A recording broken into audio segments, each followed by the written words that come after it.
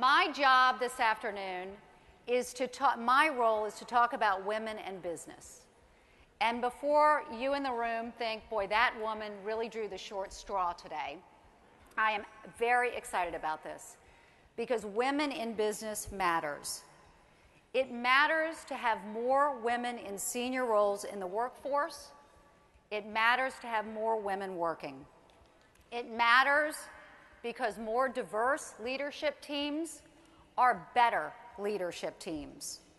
They lead to higher returns for companies, lower risk, lower volatility, more client focus, more long term focus, more innovation, better stockholder returns, and lower gender pay disparity.